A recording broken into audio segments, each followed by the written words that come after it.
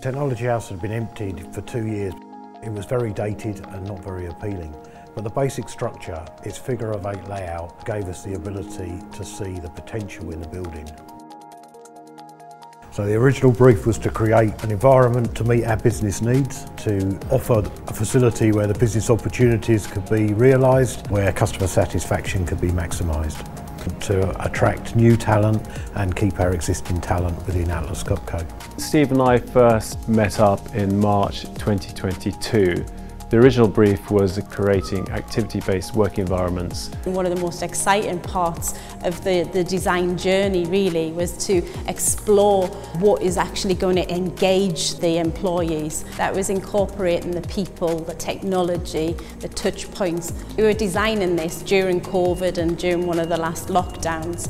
So everybody at that time was getting so used to working from home and one of the things was creating those touch points that you can't easily get when you're at home. The canteen spaces, the coffee, the gym facility. Gosh, not many places you can come to work and actually go to the gym before you start your day's work. They're real benefits. I'm really proud of, of the design. I think it really captures the look and feel and brief that was set out by Atlas Copco in delivering their new state-of-the-art facility here in the UK.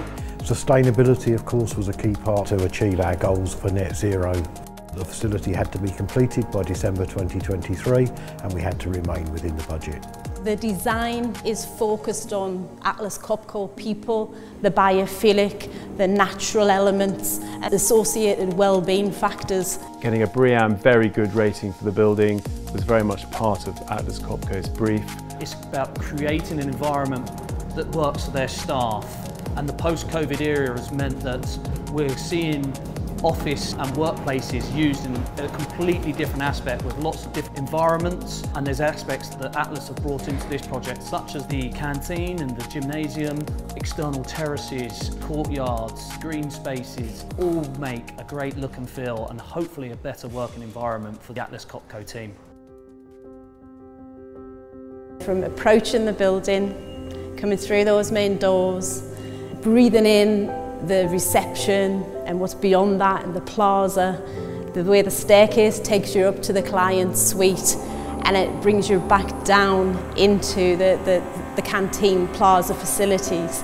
It entwines and breathes everything to do with Atlas Copco, from sustainability to well-being, natural light, planting, food, coffee, finishes. So many people have expressed their amazement at the facility. Of course that makes me very proud that we've delivered on the original brief to ensure that our employees are satisfied with the building.